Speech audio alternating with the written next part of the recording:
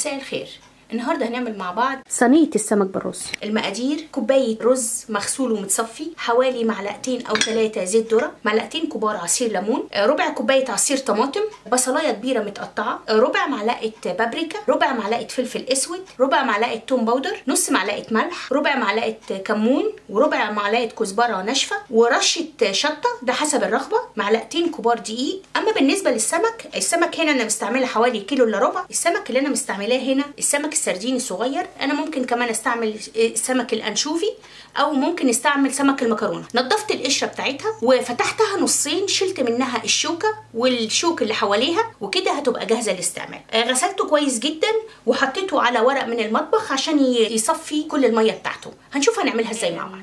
أول حاجة هنعملها إن إحنا هنتبل السمك. هحط كل كمية الكمون نص كمية الفلفل الأسود كل كمية التوم باودر نص كمية البابريكا كل كمية الكزبرة نص كمية الملح ورشة شطة طبعا دي حسب الرغبة وعصير الليمون.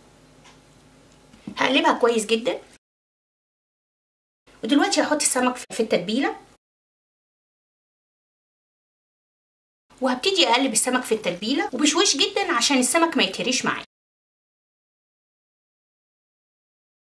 في حلة صغيرة على البوتاجاز هحط معلقة كبيرة من الزيت. أول ما الزيت يسخن هحط على طول البصلة المتقطعة.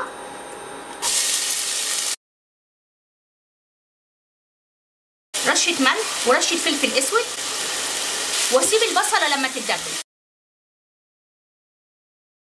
أول ما البصل يتدبل كده هحط على طول عصير الطماطم.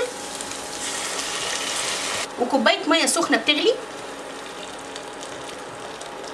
دلوقتي هحط بقية الملح والفلفل الاسود بقية البابريكا.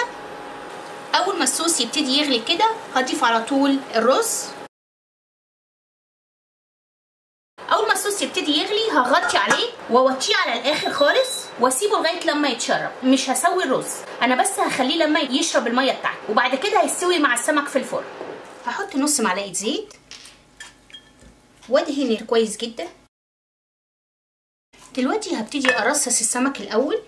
هاخد السمكية كده إحنا فاتحينها مع بعض زي ما إحنا شايفين. هاخد الظهر بتاعها وأحطه في الدقيق.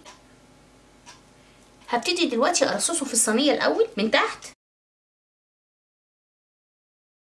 كده خلاص مليت الظهر بتاع الصينية. هبتدي دلوقتي أحطه من الجناب.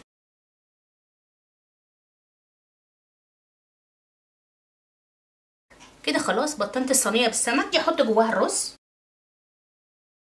دي آخد نص السمكة اللي أنا حطاها وارجعها للشكل ده. وهاخد بقية السمك أغطي بيه بقية الصينية.